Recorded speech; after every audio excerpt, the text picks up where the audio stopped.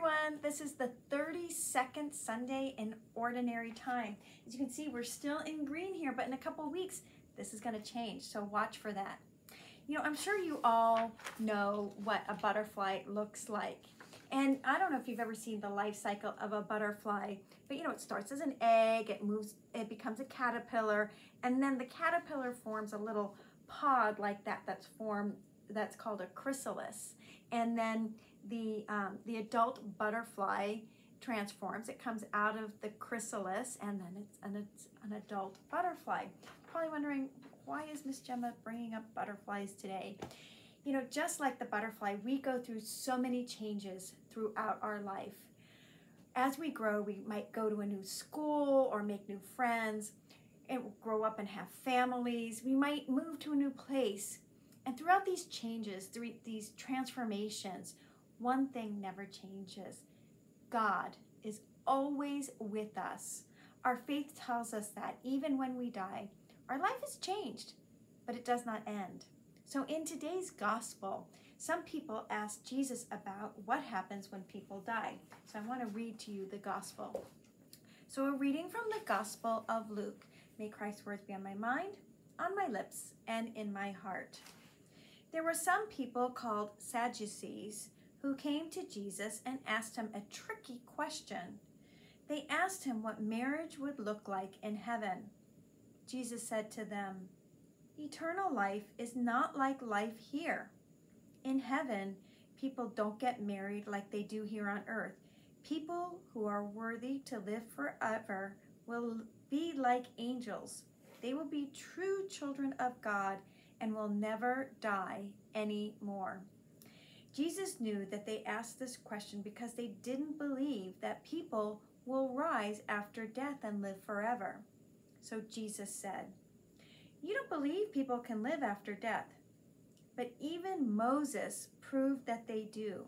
When he wrote about the burning bush, he called God the God of Abraham, the God of Isaac, and the God of Jacob. Now God is the God of living people not of dead people. Everyone is alive for God. The gospel of the Lord. And you all say, Praise to you, Lord Jesus Christ. So, in today's gospel, who came to talk to Jesus? It was a group called the Sadducees. So, they were religious leaders who did not believe in the resurrection or the happiness of heaven. So, what did, what did they ask Jesus about? They were asking what marriage would be like in heaven. They asked Jesus this as a trick question or maybe as a riddle. And how did Jesus answer them?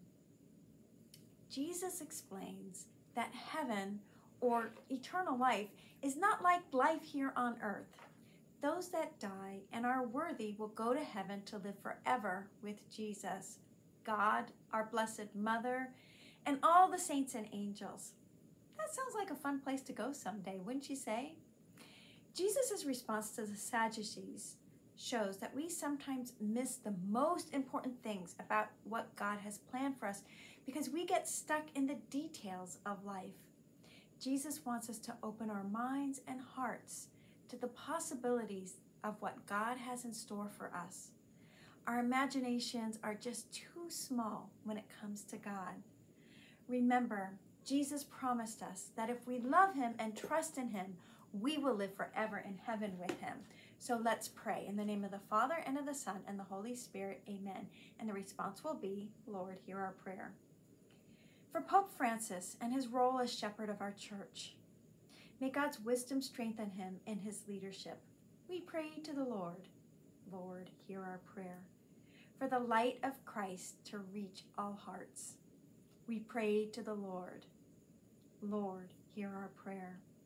As we go through changes in our life, that we will remember to trust in Jesus' promise to be with us always. We pray to the Lord. Lord, hear our prayer. Just a brief little prayer to end up today. Dear Jesus, we thank you for showing us the way to eternal life. Amen. In the name of the Father, and of the Son, and the Holy Spirit. Amen. See you next week. Bye.